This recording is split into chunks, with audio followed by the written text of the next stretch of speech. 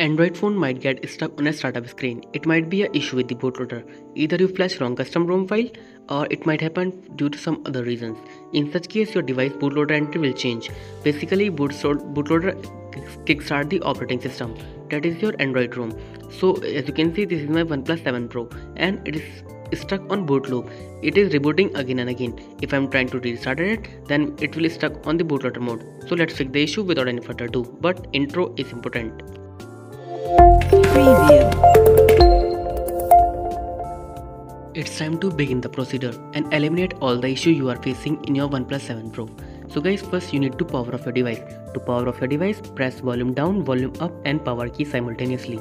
It will boot your device into the fast boot mode and from the fast boot mode, you can power off your device.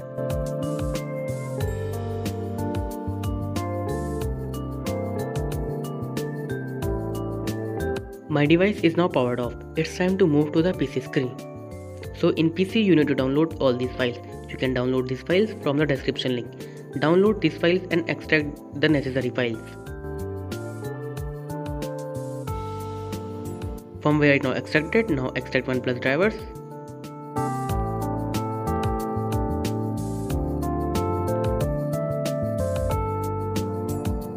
And now install OnePlus drivers.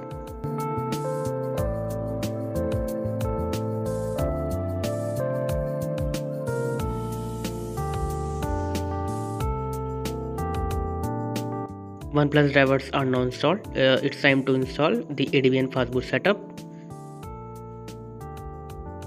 Setup is now completed. Now go back and here open this firmware file and from this file you need to run this MSM tool as administrator.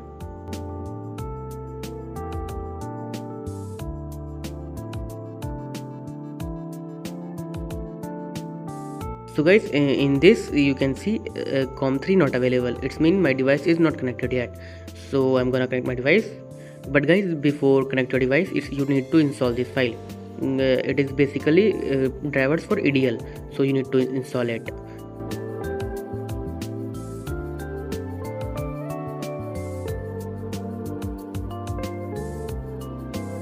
Edl drivers are not installed now let me connect my device. So guys while connecting connecting your device press the volume down and volume up key simultaneously and connect your device with the pc so guys as you can see the com3 it's mean my device is now connected. Now it's time to start flashing. So click on start button to start the flashing. And guys after pressing the start button uh, flashing might take 5 to 8 minutes. It's depend on your pc speed. So i'm gonna fast forward the video to make the to make the video short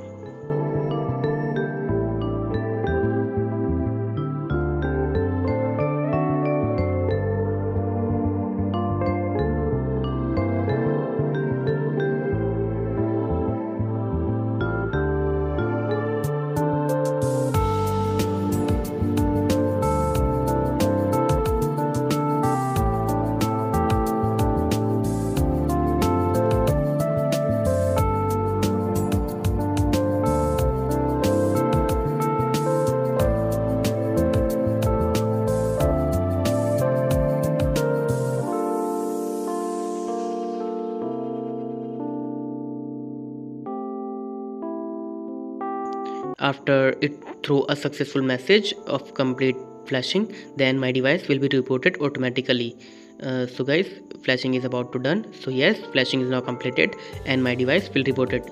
So as you can see on the phone my device is rebooted you can disconnect your device with the pc and it's time to set up the device